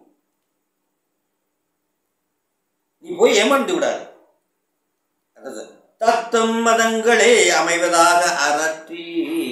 எமதம் தான் சிறந்தது. எமதம் தான் காவல் நிற்பவர் காவல் காத்தாம காத்தாளவில்லை என்பதனால். அப்பர் சுவாமி சொல்றார் என்னை காவல் காக்க வேண்டிய சைவ சமயத்து சான்றோர்கள் எல்லாம் என்னை காவல் காக்கவில்லை. அங்கே கரை நின்றவன் இதுதான் மெய் என்று சொன்னால் நான் பொத்தென்று விழுந்தேன் அது சாக்கடையாக போய்விட்டது. இந்த பக்கம் ஒரு குளம் இருந்தது அந்த காவல் காத்தவர்கள் இதுதான் உண்மையான மெய்க்குளம் என்று சொல்லியிருந்தான் நான் அதிலே போய் விழுந்தேன் என்று தன்னுடைய முதல் பாட்டிலே பெருமானிடத்திலே தன்னுடைய இயலாமையை குறிப்பிடுகின்றார். நான் செய்யவில்லை சுவாமி குற்றம். என்னை காவல் காத்து காக்க வேண்டிய குருநாதர்கள் என்னை ஆட்கொள்ளவில்லை. அதற்கு நீதான் காரணம் என்று போல அங்கே சொல்கின்றார். நான் என்ன செய்வேன்? இங்கே கரையில் நின்ற அந்த சமணர்கள் என்னை பார்த்து இதுதான் நல்லது என்றார்கள். நான் போய் ஒத்துன்று விழுந்து விட்டேன். பிறகுதான் தெரிகிறது அது சாக்கடை. அச்சே நடிகேன் அதிகக்கடியில வீரட்டான துறை அம்மானே போது சாமி மன்னிச்சுடு இப்போ நான் வந்துட்டேன் தெரிஞ்சுக்கிட்டேன் என்று சொல்லிட்டார் அதுபோல தத்தம் மதங்களே அமைவதாக அரற்றி மலையும் புறச்சமய சார்பு உடையாரிடத்து. சைவமே சமய சைவமே சமயம் என்று தாய்மானவரது வாக்கை அறிந்தவர் சைவ சமயமே சமயம் என்ற தாய்மானவருடைய வாக்கை அறிந்தவர்கள். நிச்சயமாக பயப்பட மாட்டார்கள். சித்தம் கலங்கி திகைப்பரோ. ஒரு அதிர்ச்சி வந்தோடனே பயப்பட மாட்டார்கள். ஏனென்றால் பெருமானை அறிந்தவர்கள் சைவ சமயத்தினுடைய சார்பை அறிந்தவர்கள் எதற்கும் திகைக்க மாட்டார் எந்த துன்பம் வந்தாலும் கலங்க மாட்டார் சித்தம் கலங்கி திகைப்பரோ. புறச்சமய கூட்டத்தில் சேர்வாரோ? சேரமாட்டார் சேரமாட்டார். நீ என்ன கொடுத்தாலும் நான் வரமாட்டேன். கோடி கோடியா கொடுத்து என்னை இழுத்தா கூட நான் வரமாட்டேன். ஏன்னா எனக்கு உண்மை தெரிந்து விட்டது மெய்யை உணர்ந்து விட்டேன். அந்த நிலையிலே எனக்கு பெருமான் அல் அந்த குருநாதரை பார்த்தவுடன் யார் ஒரு குருநாதரை அடைந்தாரோ இனிமேல் பொய் வாழ்க்கையில் போக மாட்டார் என்பதுதான் அந்த பொருள். எவ்வளவுதான் இழுத்தாலும் கூட இனிமேல் நான் அந்த இழுக்கிற பக்கம் போக மாட்டேன். போன காலம் முடிஞ்சு போச்சு. பொம்மை இழுப்பது போல என்னை மாமியாரும் என்னை மனைவியும் என்னை உலகத்தாரும் மேனேஜரும் ஆபீஸில் இருக்க அத்தனை பேர் இழுத்த காலம் முடிச்சு இப்பொழுது குருநாதர் இழுத்து இழுப்புக்கு நான் போய்விட்டேன். இனிமேல் அவர்கள் இழுத்தால் நான் போக மாட்டேன். சீலம் இன்றி நோன்பு இன்றி செறிவை இன்றி அறிவு இன்றி தோளின் பாவை கூத்தாட்டாய் சுழன்று விழுந்து கிடந்த நான் இப்பொழுது மாறலாம் இனிமேல் எனக்கு அந்த துன்பம் சிந்த சித்த மயக்கம் எனக்கு கிடையாது. புறச்சமய கூட்டத்தில் சேர்வது என்பதே கிடையாது என்பதை கூறி நூற்றி இருபத்தி ஐந்தாவது கன்னியிலே முத்தம் புருத நகை மடவார் புன்களவி இன்பம் மருவி மயங்கி வருவரோ தையலார் மயிலிலே தாழ்ந்து விளக்கடவே நிச்சயமா எனக்கு அதுமே கிடையாது. மடவரளியார் தங்கள் திறத்திடை நெய்வேனே என்று மாணிக்கவாசன் சொன்னார். அந்த பெண்கள் முகத்திலே கிடந்து நெய்கின்ற எண்ணெய் என்று என்று சொல்வார் மடவரளியார் தங்கள் திறத்திடை நெய் அதெல்லாம் தாண்டி விட்டேன் இனிமே கிடையாது எனக்கு. அழகிய பற்களை உடைய பெண் மயக்கத்தில் ஆசைப்பட்டு மயங்கினோம் இங்கே ஏனென்றால் அந்த பற்கள் மூலமாக அந்த சொல் மூலமாக நம்மை மயக்குகின்ற அந்த சொற்களை சொல்வதன் மூலமாக அந்த சொல்லிலே நான் மயங்கி வீழ்ந்து விடுவேனோ? நிச்சயமாக நமவில் விழமாட்டேன் சிவத்தில் மட்டுமே வீழ்வேன். சிவைய நமவில் நமவை இனிமே நான் சாரமாட்டேன். இனிமேல் சிவத்தை மட்டுமே சார்ந்து ஏனென்றால் எனக்கு குருநாதருடைய அருள் சாட்சாத் குருநாதர் சிவபெருமானை குருநாதராக வந்திருக்கிறார். நூற்றி இருபத்தி ஆறாவது பாடல் கன்னி இருபொழுதும் நாள் இருபத்தி ஏழும் நவக்கிரகமும் நலியும் கோழிது என்று எண்ணி குறிப்போ.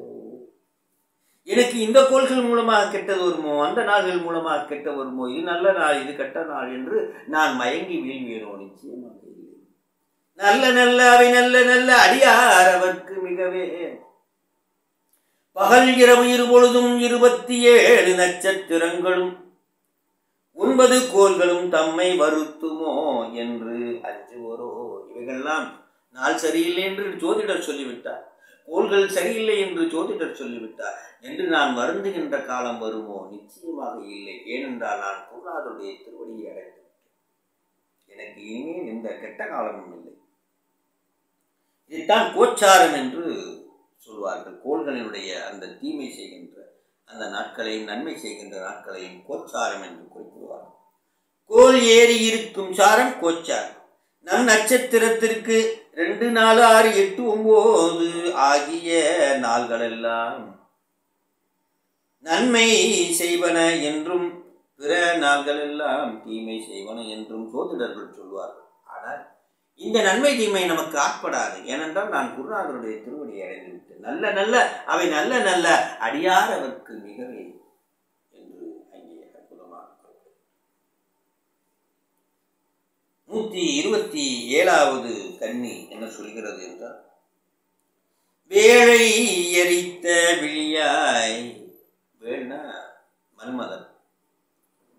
வேளை எரித்த விழியாய் நின் இன்பக் கடற்கே தரித்து மதிமறந்த தையல். அது மட்டுமா? எனக்கு இந்த உலகோர் ஒவ்வொன்றா சொல்றாரு. என்னென்ன சொன்னாரு?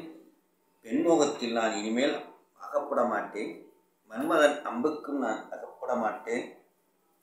சைவ சமயமே சமயம் என்று அறிந்த நான் சித்தம் கலங்கி தவிர்க்க மாட்டேன். புறசமய கூட்டத்தில் சேரமாட்டேன் அழகிய பற்களை உடைய பெண்கள் கூட்டத்தில் சேரமாட்டேன். இந்த நாள் எனக்கு கெட்டது செய்யுமோ? இந்த கோல் எனக்கு கெட்டது செய்யுமோ? என்று அஞ்ச மாட்டேன் ஏனென்றால் நான் மின்னேறனைய பூங்கலர்கள் அடைந்து விட்டேன். கடந்து விட்டேன் இந்த பொய் உலகம். கடந்தேன் என் உலகம். என்று அங்கே கூறி நிறைவாக என்ன சொல்கிறார் என்றால் மன்மதன் எரித்த கண்களை உடையவனே நெற்றிக்கண்ணை உடையவனே. சிவபெருமானே மன்மதனை எரித்த என்றால் உலக போகத்தை எரித்தவன் என்று பொருள். சுத்தமான ஒரு அடியாருக்கு சுத்த நிலையை பெற்ற அந்த அடியாருக்கு உலக போகத்தை எரித்து தன்னை தந்தவன் என்பதை குறிப்பிடுவதுதான் அந்த மன்மதனை எரித்த அந்த நிகழ்வு. சுத்த நிலைக்கு வந்த எனக்கு என்னுடைய தொடர் சொந்தமாக வந்து கொண்டிருக்கின்ற உலக முகத்தை எரித்து தன்னை காட்டி அருள்வதைத்தான் இங்கே எங்க இங்கே என்ன சொல்கிறார் என்றால் மன்மதனை எரித்த கண்களை உடையவனே. நெற்றிக்கண் மூலமாக நம்முடைய உலக போகத்தை தவிர்த்து தன்னை காட்டுகின்ற நிலையை கொடுப்பவன் தான் சிவபெருமான். மறைஞான சம்பந்த முனியே சிவபெருமானை மறைஞான சம்பந்தரே சிவபெருமானாக பாவித்து சொல்கின்றார். நெற்றி கண்ணை எரித்த கண்களை உடையவனே மறைஞான சம்பந்தனே.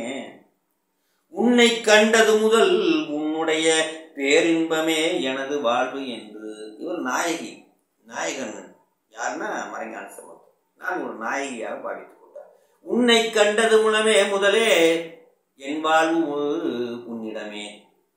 என்று உன்னுடைய பேரின்பமே எனது வாழ்வு என்று உனது அடைக்கலம் பெற்றேன் என்று கூறி தனது அறிவீச்சை செயலை மறந்து தன்னிலை இழந்து.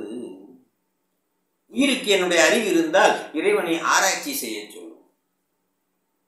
ஆகவே தன்னுடைய அறிவை இழந்து நின்றால் தான் இறைவனிடத்தில் சரணாகதி அடைய முடியும். அறிவு இருந்தால் அதனாலதான் கச்சாரை யான் வேண்டேன் என்று குறிப்பிடுகின்றார். கற்றதனால் இறைவனை அடைய முடியாது. கற்றதனால் பெற்ற அனுபவத்தை கொண்டு இறைவனை சரணடைய வேண்டும். கற்றதை விட்டு விட்டு சரணடைய பலமுறை சொல்லி இருக்கிறேன் இலங்கை ஜெயராஜ் அவர்கள் அற்புதமாக கூறுகிறார். கற்ற அந்த ஆணவம் நமக்கு வந்து விட்டால் இறைவனை அடைய முடியாது. அதனால கற்றாரை ஆழ்வது அந்த செம்பில் உள்ள களிம்பை நீக்குவதற்காக உப்பு புளி போடுவார்கள். ஆனால் அந்த செம்பிலுடைய களிம்பி எங்கிருந்து அந்த பேர் ஒளி எங்கிருந்து வந்தாலும் செம்புக்குள்ளே இருந்து தான் வந்தது. அதற்கு தடையாக இருந்தது களிம்பு அதை நீக்குவதற்காக உப்பு புளி போட்டோம் என்பதனாலே உப்பு புளி உப்பு புளிதான் சிறந்தது என்று சொல்ல முடியாது. செம்பில் உள்ள களி அந்த அந்த உண்மையான ஒளிதான் சிறந்தது. செம்பில் உள்ள களிமும் நீங்கிவிடும் உப்பும் நீங்கிவிடும் அந்த புளியும் நீங்கிவிடும். அதுபோல நாம் கற்ற கல்வி நீங்கிவிட வேண்டும். கற்ற கல்வியை பெற்று அந்த பாசத்தை நீக்கிவிடன் எப்படி அந்த களிமை நீக்கியவுடன் உப்பு புளியை நான் நீக்கினோமோ அதே போல நாம் கற்ற கல்வியும் நீக்கிவிட வேண்டும். தன்னை இழந்து விட வேண்டும். அப்பொழுதுதான் இறைவனுடைய திருவடியை அடைய முடியும். அதனால கற்ற அறையா அன்பேண்டேன் ஒன்னே ஒண்ணுதான் வேண்டும். கற்றாவின் மனம் போல கசிந்து உருக சிந்தை இடையரா அன்பு. எனக்கு உன் ஊடகத்தே நின்று தந்தொருள் என் உன்னை அடைகிறதுக்கு எனக்கு அந்த அன்பை மட்டும் கொடு. வேற சிந்தை இடையரா என்று சொல்லுகிறேன். அதனால கல்வி கூட அதான் நமக்கு கற்றவுடன் க கழட்டி விட வேண்டிய ஒரு ஒரு பக்கு எல்லாத்தையும் கட்டி விட்டு அதையும் கழட்டினா தான் இறைவனை அடைய முடியும் என்பதுதான் இங்கே பொருள். தனது அறிவு இச்சை செயலை மறந்து தன் நிலை இழந்து நிற்கும் கற்புடைய தலைவியாகிய நங்கையின் யாரு? உமாபதியார். இப்ப நாம தான். நூத்தி இருபத்தி ஒன்பது வருத்தமெல்லாம் தீர்ப்பாயாக என்று அவனது செந்தாமரைத்தால் இங்கு அடியேனுக்கு தந்தருள் பலகால் இறைஞ்சுவாயாக நெஞ்சமே என்று நூத்தி இருபத்தி ஒன்பதாவது பாடல்ல. ஏறாரும் நூத்தி இருபத்தி எட்டாவது பாடல். வருத்தமெல்லாம் தீராய் என உரைத்து செங்கமல பூந்திருத்தால் பூந்திருத்தால் தாமரை மலரை போன்று அந்த பூவார் திருவடியை எனக்கு தரச்சொல் நெஞ்சே தாரா என பலகால் தாழ்ந்து ஒரு முறை கேட்டாத இப்படியெல்லாம் பேச முடியுமா? சாமி சாமி என் குருநாதர் கேட்டார். நாயகியினுடைய நெஞ்சாய் நிற்கிறார் தூது போயிருக்க. இந்த நாயகிக்கு உங்க திருவடியை கொடுத்துருங்க சுவாமி அவன் அவன் நினைச்சே எங்கிட்டு இருக்கா சுவாமி எப்படியெல்லாம் பலகாலம் கொஞ்சி பேசுவாயோ குருநாதரிடம் எப்படியோ பேசி அந்த திருவடியை வெற்றி வந்து விட வேண்டும். எப்படி நயமாக பேசுவாயோ எனக்கு தெரியாது. சுவாமி என் இந்த நெஞ்சுக்குரிய நாயகி அங்கே ஏந்தி கொண்டிருக்கிறார். உங்கள் திருவடி வேண்டுமா அதை கொடுக்க வேண்டும். அவர் மறுத்தால் கூட நீ எப்படி பேசுவாயோ பலகாலம் கொஞ்சி பேசி அந்த நாயகனிடம் அந்த திருவடியை பெற்றுதான் வர வேண்டும். பூவார் திருவடி பெற்றுதான் வர வேண்டும். ஒற்றி அருள்களின் ஆதியாம் பாதமலர் ஒற்றி அருள்களின் அந்தமாம் செந்தலில். போற்றி எல்லாவிற்கும் தோற்றமாம் பூங்கலர்கள் என்று அந்த பெரும பெருமானுடைய திருவடியை எப்படியெல்லாம் பலகாலம் நயந்து பேசுவாயோ தெரியாது ஆனால் திருவடியோடு தான் வருத்தமெல்லாம் தீராய் திருவடியின் நாயகி ஆகிய உமாபதியார் அந்த திருவடியை பெற வேண்டும் என்று ஏங்கிக் கொண்டிருக்கிறார். அந்த திருவடியை நீங்கள் கொடுக்க வேண்டும் என்று அந்த நெஞ்சை நெஞ்சு இறைஞ்சி கேட்டு எப்படியாவது பெற்று வர வேண்டும் என்பதைத்தான் இங்கே சொல்ல வருத்தமெல்லாம் சீரா என உரைத்து செங்கமல பூந்திருத்தாள் தாராய் என பலகாலும் தாழ்ந்திறங்கி. எப்படியெல்லாம் நீ பலகாலும் பேசுவியோ இறங்கியோ தாழ்வையோ எனக்கு தெரியாது. நீ அந்த திருவடியை பெற்று வர வருத்தமெல்லாம் தீர்ப்பாய் என்று அவனது செந்தாமரைத்தான் தாள்களை அடியே எனக்கு தந்தருள பலகால் இறைஞ்சுவாயாக நெஞ்சமே.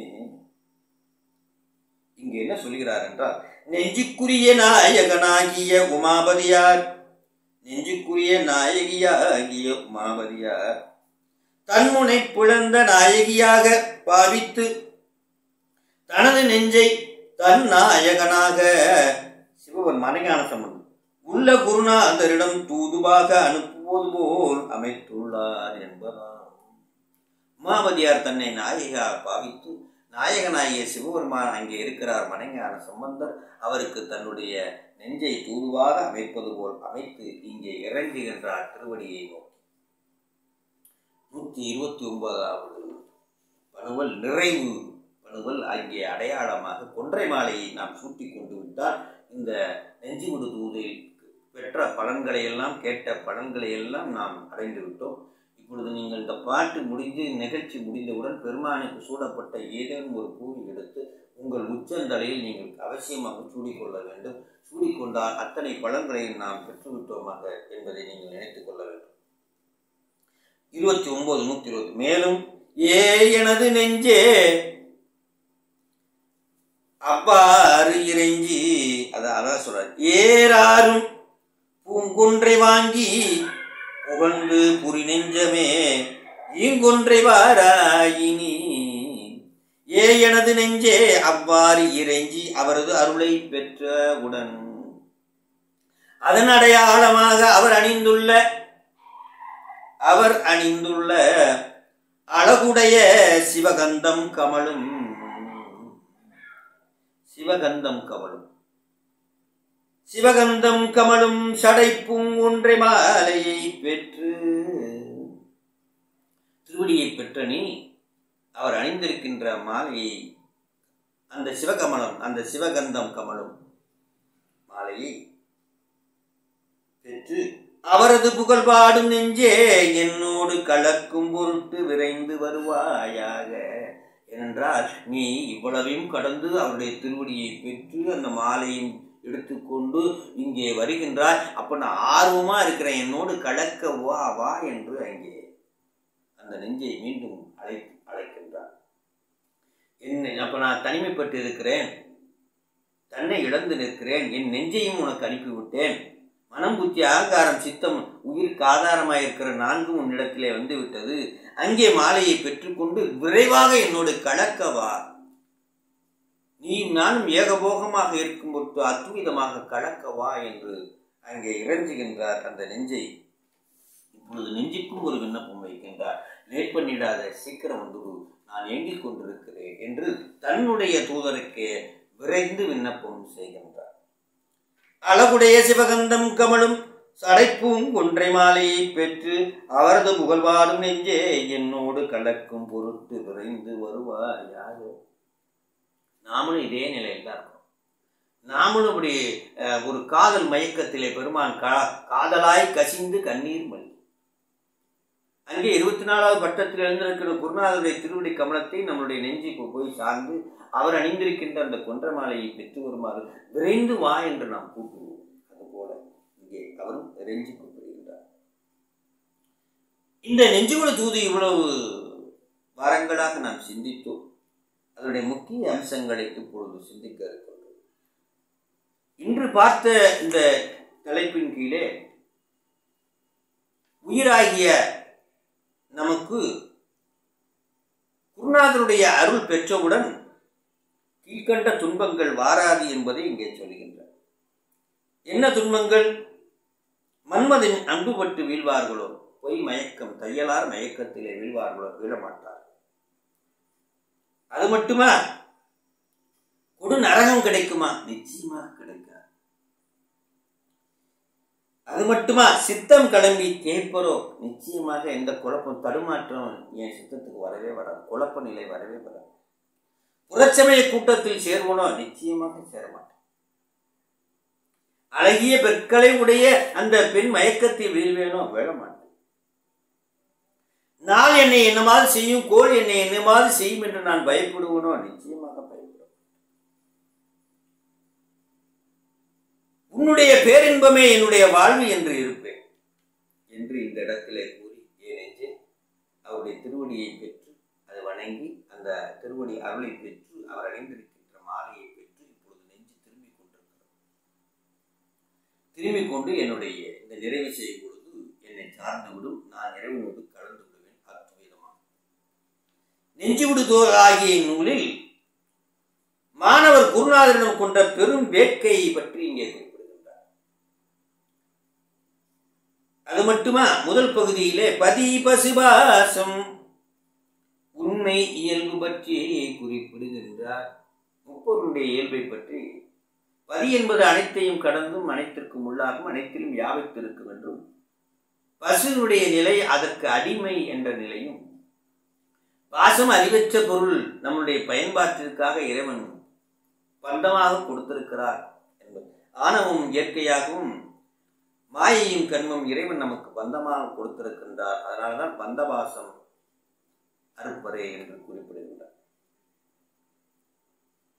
இறைவனது தசா அங்கங்களை பற்றி அற்புதமாக குறிப்பிடுகின்றார். ஒவ்வொரு அங்கங்களையும் பற்றி. மலை நீர் மாலை என்று முரசு என்று ஒவ்வொரு அங்கங்களாக குதிரை யானை என்று ஒவ்வொன்றாக குறிப்பிட்டு. அந்த திருவருள் எவ்வாறெல்லாம் ஆன்மாக்களை ஆட்கொள்கிறது எவ்வாறெல்லாம் தீயதிலிருந்து மீட்டு அருள்பாலிக்கிறது என்பதை தச அங்கங்களாக ஒரு அரசன் எப்படி பொது மக்களை காக்கின்றானோ அதுபோல சிவ அரசன் ஆன்மாக்களை எவ்வாறெல்லாம் காக்கின்றார் என்பதை அங்கங்களாக குறிப்பிட்டு. முத்திக்கு செல்லும் வழியில் அப்படியெல்லாம் ஆட்கொண்டு இந்த உயிர் முத்திக்கு செல்கின்ற வழியில் தடையாக என்னென்னலாம் வரும்? புறச்சமயத்து கருத்துக்கள்லாம் அதில் போய் சென்று விடாது. இப்படி நம்மளுடைய குருநாதர் நம்மை பிரார்த்தனைப்பத்திலே அந்த வாகனத்திலே அந்த இதில் ஏறியவுடன் அந்த சிவிகையில் ஏறியவுடன் குருநாதர் எப்படி நம்மை வாள் வீசி ஞான வாள் வீசி ஞான வாள் ஏந்தும் ஐயர் நாதப்பறை அரங்கின் என்று அற்புதமாக சொல்வார். அப்படி நம்மை குருநாதர் வழிநடத்தி கொண்டு செல்வது போல இங்கே முக்திக்கு செல்லும் வழியில் உள்ள தடைகளை எல்லாம் நீக்கியும் குருநாதரின் பெருமைகளை கூறுவதாகவும் அமைந்துள்ளது இந்த நெஞ்சோடு தூது இதை படிப்பவர்கள் நினைப்பவர்கள் கேட்பவர்கள் நிச்சயமாக பேரின்ப பயனே என்பதால். ஆகவே இந்த நெஞ்சுவிடு தூதை யார் கேட்டாலும் நினைத்தாலும் படித்தாலும் இறைவனுடைய கொன்றை மாலை பெற்றவர்கள் ஆவார்கள். அவர்களுக்கு பயன் என்னவென்றால் நிச்சயமாக பேரின்பமே. நிறைவில் இந்நூலில் வெண்பா ஒன்று உள்ளது.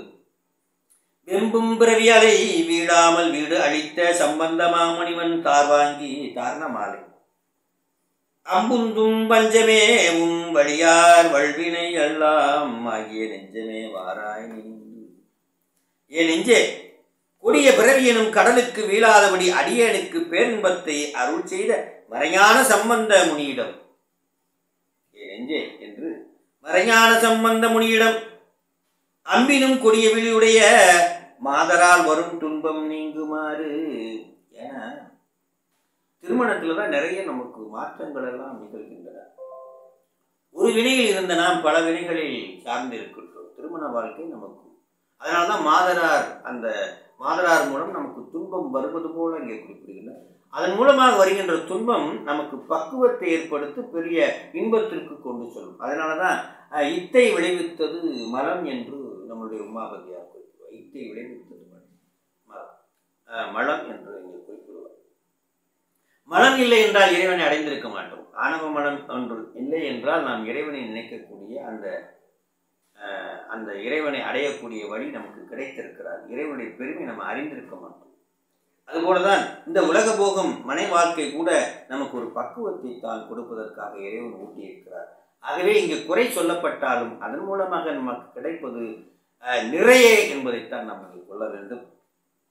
அன்பினும் கொடிய விழிவுடைய மாதரால் வரும் துன்பம் நீங்குமாறு அவர் அணிந்திருக்கும் சடை குன்றை மாலை வழிபட்டு வாங்கி வருவாயாக.